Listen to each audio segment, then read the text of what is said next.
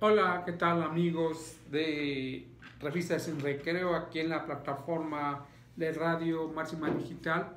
Eh, hoy lunes 2 de diciembre del 2019 estamos transmitiendo desde el centro histórico de la ciudad de Jalapa.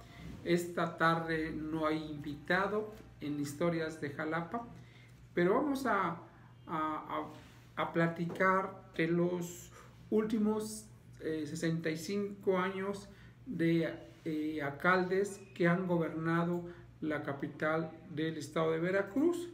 Vamos a recordar que desde 1955 hasta el día de hoy han recorrido diferentes eh, personajes de la vida pública, han tenido la encomienda de eh, encabezar los trabajos en el Ayuntamiento Constitucional de Jalapa, este ayuntamiento histórico que inició sus trabajos el primero de enero del año de 1794, en pleno periodo colonial, en la Intendencia de Veracruz, viene la, la, independencia de México y las diferentes etapas. Bueno, eh, Rubén Pabello Acosta fue alcalde de Jalapa de 1955 al, al 58, a él le, eh, le, debemos la construcción de del Palacio Municipal que tenemos ahora aquí en la calle Enrique, después viene Carlos Lascurain, Zuleta, Fernando García Barna, nacido en Los Tuzcla, pero desde muy joven él va a ser alcalde de nuestra ciudad, Carlos Smith, Lorenzo Casarín Uscanga, Otoniel Rodríguez Barzarte, Pedro Coronel Pérez, Rubén Pabello Rojas, es la primera vez en el siglo XX que un hijo de un ex alcalde repite en la alcaldía de Jalapa, su papá había sido alcalde en 1955 al 58 y Rubén Pabello Rojas va a ser alcalde de Jalapa de 1976 a 1979. Eh, estamos pendientes, estamos agendando nuestras, eh, nuestras agendas, tanto de don Rubén como la mía, para eh, que nos visite don Rubén Pabello Rojas. Y la semana pasada pues, se cumplieron 40 años que terminó su mandato como alcalde de Jalapa. Eh, después viene Carlos Padilla Becerra, que actualmente es presidente del Comité Olímpico Mexicano y que es alguien que no nació en Jalapa, que no tiene el único vínculo que estaba casado eh, con una señora de apellido Medina, la hija de don Pablo H. Medina. Don Pablo H. Medina había sido presidente municipal de Jalapa allá por los años 40 y que se le recordaba a don Pablo H. Medina en nuestra ciudad porque era el comerciante que tenía el control de la, de la venta de los periódicos y revistas aquí en la calle de Clavijero número 12. Don Pablo H. Medina es un, un interesante su trayectoria. A Carlos Parrilla Becerra eh, era un hombre muy guapo, muy joven en, los, en estos años y se comenta la picaresca eh, veracruzana que él tuvo que salir huyendo de, del ayuntamiento porque era acosada, acosado por el gobernador en turno. Entonces ahí don Carlos, ahora ya es un señor de 80 años, eh, va, va, a haber un, va a haber un alcalde sustituto, don Enrique Hernández Crisanto, que acaba de fallecer hace como cuatro meses. Después va a venir Ignacio González Rebolledo, de trayectoria también importante aquí en Jalapa, un abogado. Eh, eh, eh, después viene Salvador Hernández, Salvador Valencia Carmona, quien deja la, no concluye su mandato presidencial porque es invitado por el gobernador de Veracruz, el coronel Fernando Gutiérrez Barrios, para que se hiciera cargo de la rectoría de, Jalapa y sube como alcalde un destacado jalapeño, Manuel Fernández Ávila, hijo de Justo Fernández y de Alicia Ávila Camacho.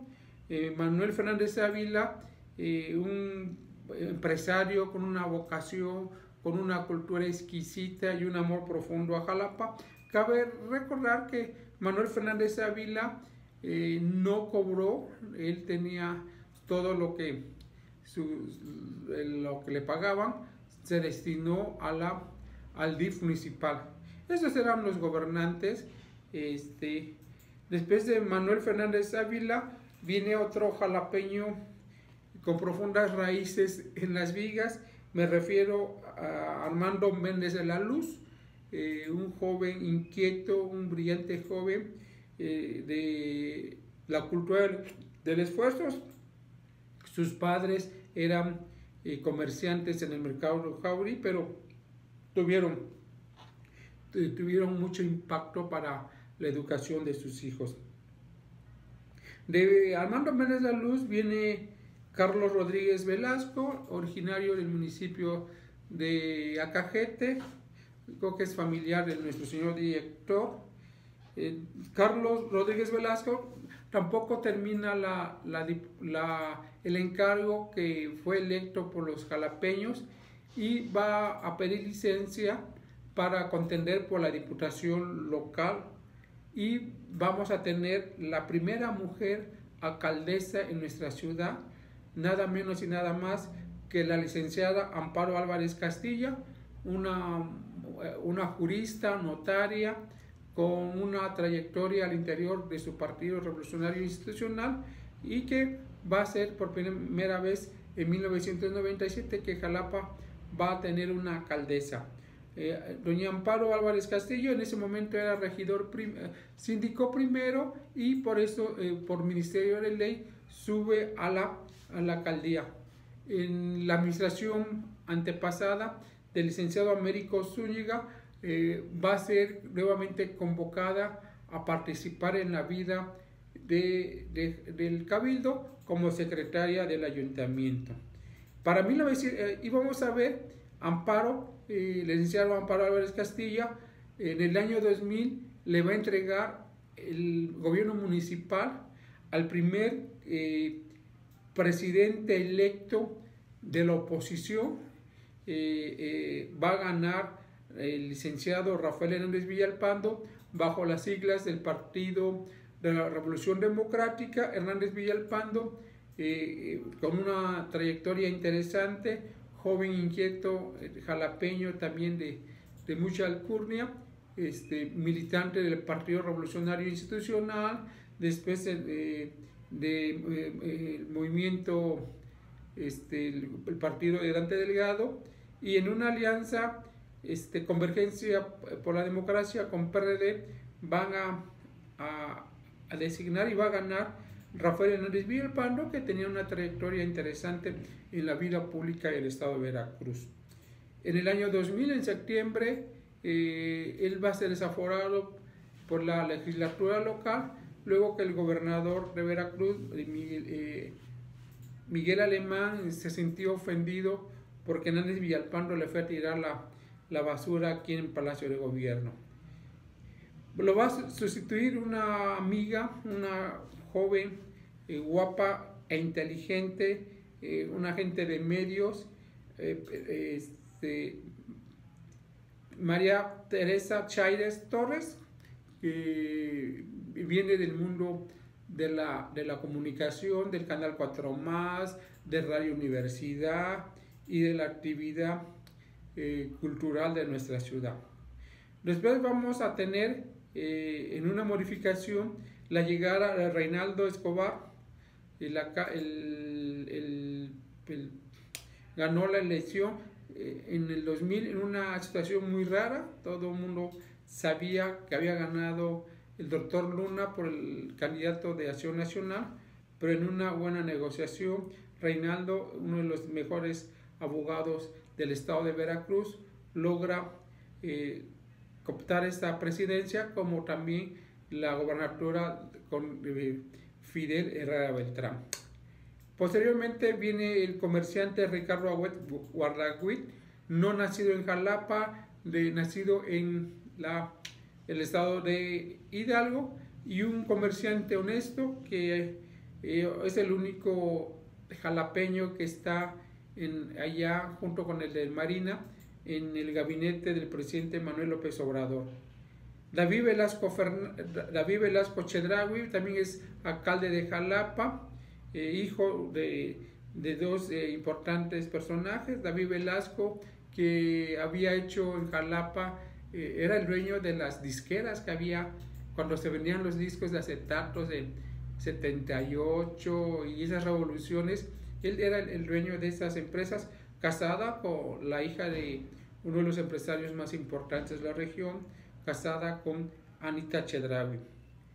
Después, por primera vez, vamos a tener, se va a elegir la primera candidata eh, que sale electa como alcaldesa, Elizabeth Morales, eh, y finalmente vamos a tener la elección de Américo Zúñiga Martínez, igual que en el caso de Rubén Pabello Rojas, su papá, eh, que aquí me lo brinqué, no sé por qué me brinqué a, Guillermo Zúñiga, algo, alguien me hizo la, este, alguien me hizo la, este, algo pasó aquí, pero ya, igual Guillermo Zúñiga, y, bueno, eh, aquí con Américo Zúñiga, eh, su, secretaria eh, del, del, ayuntamiento, la licenciada Amparo Álvarez Castilla, va, va a entregar el gobierno al eh, Xochimilca, como le dicen algunos. Sí, el, el, doctor Hipólito Rodríguez Herrero es nacido en la Ciudad de México, en los últimos 35 años eh, ha vivido entre nosotros, donde viene a trabajar al César Golfo, a la Facultad de Sociología. Estos son, a grandes rasgos, estos eh, presidentes municipales que han gobernado la capital del estado de Veracruz uno, yo me, me pues nos podemos preguntar, ¿ustedes recuerdan, tienen alguna anécdota de, de, estos personajes? Eh, vamos a, eh, en 1955, cuando Rubén Pabello eh, eh, Acosta es alcalde, él ya venía con una trayectoria en los medios de comunicación. En 1943 había fundado con Ángel eh, este, Núñez, el diario de Jalapa, en 1950 había sido diputado local y la, familia Pabello Rojas, una familia eh, con, profundas eh, raíces jalapeñas y naulinqueñas y vamos a, ver a, don Rubén que pues, le toca todavía gobernar una pequeña población que era la capital de la ciudad del estado de Veracruz. Y bueno, eh, el, gobernador eh, Miguel Alemán había prometido la construcción del Palacio Municipal de Jalapa. Tenemos que recordar que Jalapa, el Palacio de Gobierno, que hoy es sede del gobierno estatal, era el palacio, del palacio del Ayuntamiento de Jalapa en 1824, cuando se crea el Estado de Veracruz y la legislatura eh, propone que la sede del gobierno sea la ciudad de Jalapa, el ayuntamiento le, le da en, donación parte del palacio y la parte que da al, al Parque Juárez, ahí se instaló el palacio municipal. Hay un, un temblor en 1937, se cae esa parte, el, los poderes municipales pasan a la Casa de los Leones, aquí en la calle de Lucio, y después de mucho, de mucho trabajo y de, eh, de, una, de, una, de un gran amor, fíjense que el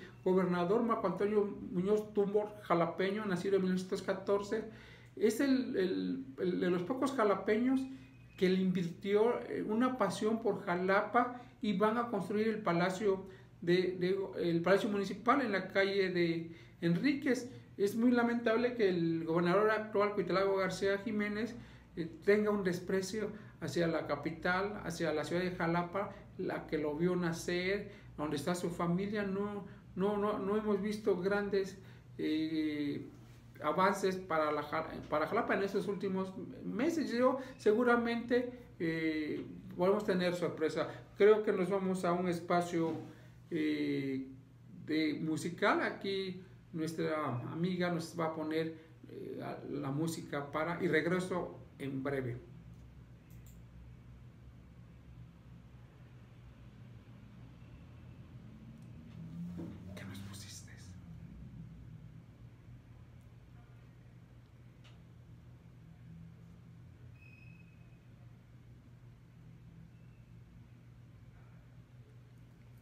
Ya, gracias, ya este espacio. Bueno, podríamos eh, eh, también Carlos Lascuray, también un jalapeño de mucha, de, mucha presencia, se le recuerda con mucho cariño.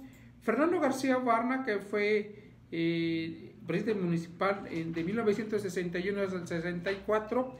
Fernando García Barna es un joven abogado, miembro del Partido Revolucionario Institucional, fue rector de la Veracruzana, nació en San Andrés Tuxtla y su hijo también después fue con Hernández Villalpando, fue regidor. Eh, Carlos Smith, aquí no recuerda a Carlos Smith, los jalapeños del pasado. Don Carlos fue un líder del Sindicato Nacional de los Trabajadores de la, de la Comisión Federal de Electricidad.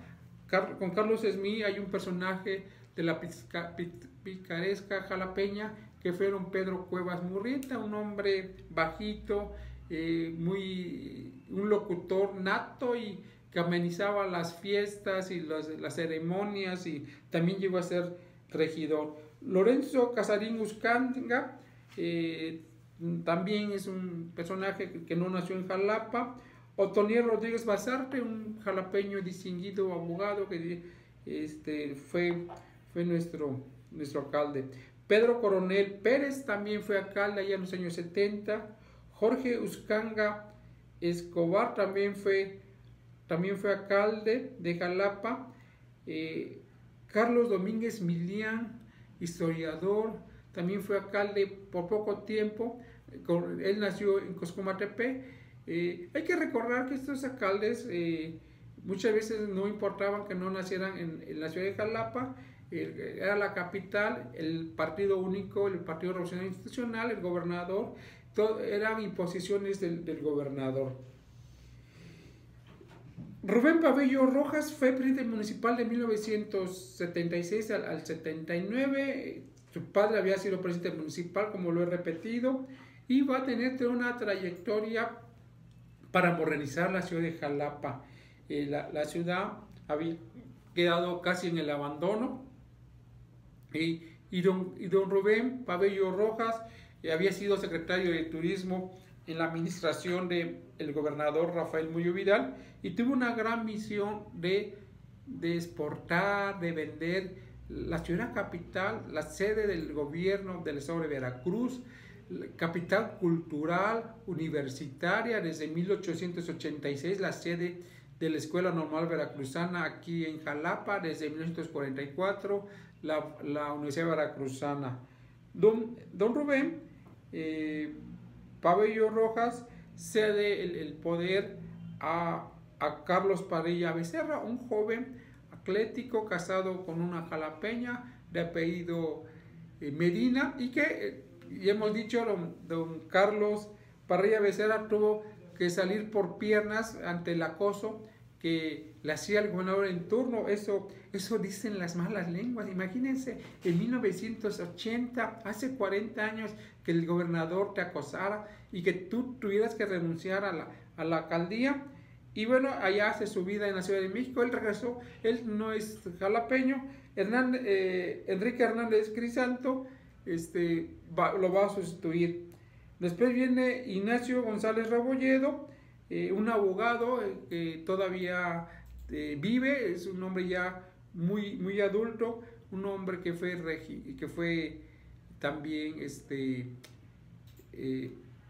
miembro del, del, Poder Judicial, fue diputado federal, local, un hombre de mucha actividad, un hombre de esos de la Revolución Mexicana, amantes del Partido Revolucionario Institucional. Salvador Valencia Carmona, eh, también un jalapeño académico, este, muy ligado al Partido Revolucionario Institucional y que eh, logra la postulación eh, allá en ese México de un solo partido, en ese México que no había mucha apertura democrática, pero don Salvador Valencia Carmona eh, renuncia a, su cargo y se, se, va a, la a, la, a, ser rector de la Veracruzana. Y el licenciado en Economía Manuel Fernández Ávila, eh, que tuvo una vocación, un amor hacia Jalapa, se le recuerda por, por su interés y su pasión. Él, él viene a, a remodelar muchas cosas y bueno, Armando Méndez La Luz hizo la ampliación del Palacio Municipal, el Palacio eh, ya para, para, para, los años 85 vieron que el Palacio Municipal era insuficiente para albergar a, todas las dependencias del, del, gobierno municipal y compran parte de, de una casa que de, un edificio que iba a ser la sede de las oficinas del ISTE en, Veracruz, que lo más se, se hizo el, el, almazón. La primera parte era la tienda del ISTE, que era muy selectiva. Solamente podían entrar a la tienda del ISTE quien llevara la credencial que los acreditaba como derecho a ambientes. Y finalmente la delegación optó por vender este espacio, se lo vendió al, gobierno municipal y se amplió el Palacio Municipal con Armando Méndez de, la Luz. Después de Armando Méndez de la Luz vamos a, eh, el maestro Guillermo Zúñiga fue el alcalde de Jalapa, eh, eh, fue electo en 1988, una elección en septiembre muy golpeada, había pasado la elección presidencial donde los mexicanos votamos en favor del candidato del Frente Democrático Nacional, eh, la, eh, Cuauhtémoc Cárdenas Solórzano, y en septiembre eh, a Guillermo Zúñiga lo más lo van a elegir 13 mil votos. A Guillermo le tocó un, trienio muy bonito porque eh, se rodeó de mucha gente del, del arte y la cultura, hicieron grandes eventos, hicieron la, bueno, estuvo visitando eh, a Jalapa el presidente de Guatemala, Jorge Díaz Serrano, que había sido, era íntimo amigo del alcalde de Jalapa allá en los años 60, en los concursos de oratoria del Universal, creo. Y bueno, aquí tuvimos la visita de, un presidente de la República, que pocas veces acontecen en nuestro municipio. Y Aaron, Aaron eh, Guillermo Zúñiga le tocó organizar el bicentenario de que Jalapa recibiera de parte de del rey de España Carlos IV los títulos de Villa, Villa y de escudo de armas. En 1791 vamos a tener este gran reconocimiento. Y bueno, el, también Carlos Rodríguez Velasco eh, también tuvo una... Con Carlos Rodríguez Velasco hay que destacar que su plan de desarrollo municipal eh, fue eh, hecho por expertos, por Francisco Monfort Guillén, y todos una serie de académicos expertos en urbanismo, en demografía, y que planeaban la ciudad de Jalapa en 30 años. Y bueno, vamos a y en el 97, en mayo, este, vamos a tener la primera mujer, como he dicho, como alcaldesa, a nuestra amiga y, quien hemos tenido la, la, experiencia de trabajar a su lado, de María Amparo Álvarez Castilla, una mujer de una sola pieza, con una profunda vocación del servicio. Ella fue nuestra primera alcaldesa que en, la administración de Américo Zúñiga, como cómo se presumió esto de eh, eh, que no había llegado por el voto, pero que eh, ella este, respondió a la encomienda y bueno, también le toca hacer entrega de, del gobierno municipal a la oposición. en, en, este momento el Partido Revolucionario Institucional había postulado como, como a su candidata a la maestra Rosario Piña. También aquí sería interesante hacer un recuento de cuántos y cuántos amigos, compañeros jalapeños han participado como candidatos y que eh, eh, muchos en aquellos tiempos los candidatos de la oposición eran simbólicos porque uno siempre sabía que ganaba el PRI, ¿no? Pero ya en el 97 cambió un poco la historia y va a ganar Rafael Hernández Villalpando, un jalapeño de cepa, eh, un jalapeño eh, con una trayectoria, una larga trayectoria en la vida política de Veracruz, desde el Partido Revolucionario Institucional, eh, del grupo de Dante Delgado, fue su, fue su rector, su subsecretario de gobierno y Hernández Villalpando gana. Por primera vez vamos a, a tener un, un, cabildo democrático, ya con otras expresiones, eh, el mismo Hernández Villalpando, en el año 2000 yo me acuerdo acompañar al, al candidato presidencial de Acción Nacional, Vicente Fox, que, que fuimos al Cabildo y ahí el, el, candidato presidencial estuvo eh, con, los, con los habitantes y con los miembros del Cabildo jalapeño. Hernández Villalpando, como vuelvo a repetir, es un hombre muy dinámico, un hombre de leyes, es un gran especialista en leyes, este, el gobierno de, Miguel Alemán, en, en, el estilo más clásico de los priistas, cuando hay gobiernos de oposición, apretar las tuercas en varios sentidos. Y, aquí eh, la basura, la basura es uno de los grandes problemas de nuestra ciudad. Pero fíjense que el, problema de la basura es de los últimos 30 años. Yo me acuerdo de niño y que Cajalapa éramos muy limpios, eh, pasaba el camión de la basura, pasaba el campanero, todos los jalapeños salíamos a poner nuestros botes, pasaba el camión y nunca había basura. El, problema, este, para mí lo ocasionó, ¿saben quién? Eh, Carlos Padilla Becerra. Como buen chilango, él trajo unos contenedores que se ponían en las cuadras de la ciudad y que pasaban cada semana a recoger los contenedores. Entonces, uno iba, tenía su contenedor en la, en la calle, iba a poner la basura, pero ¿qué creen? Luego, este, todo el mundo, eh, había contenedores que se movían rápidos y todo el mundo llevaba sus basuras y luego no pasaba el camión y ahí íbamos a tener gran problema.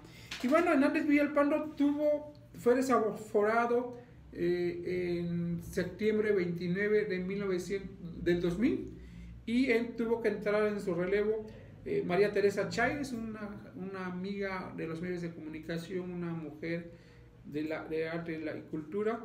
Y bueno, después van a eh, Reinaldo Escobar Pérez, va a ser electo por el, el Movimiento Ciudadano, después se hizo prista, un abogado muy connotado, pero tenemos que decir que él, el maestro Reinaldo, se le, se le asume o se le conoce donde eh, la, la, corrupción es, es, fue muy, muy grata. De David Velasco Chedragui, ah bueno, eh, Ricardo Guardagüil es un personaje eh, con pocos estudios, un personaje de mucho trabajo, un personaje de mucha honestidad. ¿Quién no recuerda el, changarro de su papá ahí en la calle de Juárez, esquina Revolución? Eh, vendiendo plásticos, pajaderas, eh, vendiendo... Y además iba uno y era, lleno de polvos, vajillas, y te despachaba el papá o te regañaba, y así como regañaba eh, al cliente, regañaba a, los hijos, a, Ricardo. Y bueno, yo creo que don Ricardo eh, es un hombre que ha dejado muy buen sabor de boca en sus encargos en el servicio público, ya sea como diputado local, como diputado federal, como senador y ahora como eh, jefe de aduanas del gobierno de... Yo creo, que, yo creo que sí, ahí sí podemos meter las manos al fuego por Ricardo Guaragüit. Y bueno, la semana pasada aquí estuvimos con Américo Zúñiga, nos contó un poco de, de cómo fue su gobierno. Y, lo, y bueno, vamos a seguir en estas historias de Jalapa en, en relación a la... A, ver quién, quién serán los nuevos, nuestros próximos gobernantes. Pues yo me despido sin antes agradecerle aquí a la licenciada Yuli López todas sus atenciones, eh, la música y eh, nos estamos escuchando y aquí en Revistas Enriqueo, Máxima Digital, eh, en las redes sociales. Se despide de usted Ángel Rafael Martínez Alarcó y vuelvo a agradecer a mi amiga y compañera de esta cabina, a la licenciada Yuli López. Hasta pronto.